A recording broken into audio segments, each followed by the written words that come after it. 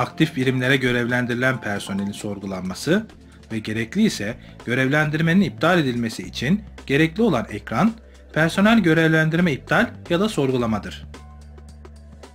DYS yönetici ekranları menüsünden ilgili bağlantı tıklanarak açılır. Görevlendirmenin listelenmesi için görevlendirmenin yapıldığı birim ve görevlendirme yapılan personel bilgilerini seçmek zorunludur. Görevlendirmenin yapıldığı birimin seçilmesi için birim seç düğmesine tıklanır.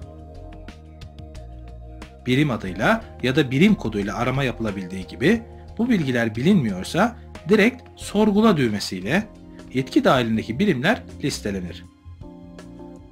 İlgili birim seçilir ve ekle düğmesiyle listeye eklenir. Aynı işlem birim üzerine çift tıklanarak da gerçekleştirilebilir. Tamam düğmesiyle ana ekrana geri dönülür.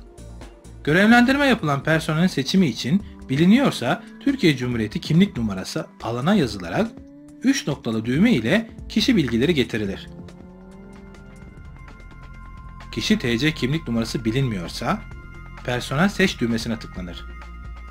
Kişinin adı ve soyadı bölümleri doldurularak sorgula düğmesiyle listelenir. Kişi listeden seçilir ve tamam düğmesiyle ekrana geri dönülür.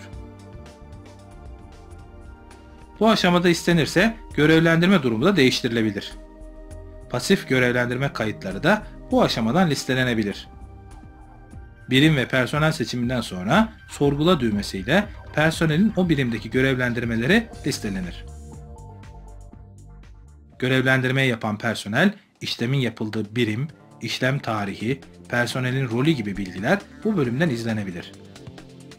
İlgili birimdeki görevlendirmesi iptal edilmek isteniyorsa, personel ilgili göreviyle listeden seçilir ve alt bölümde yer alan görevlendirmeyi iptal et düğmesine tıklanır.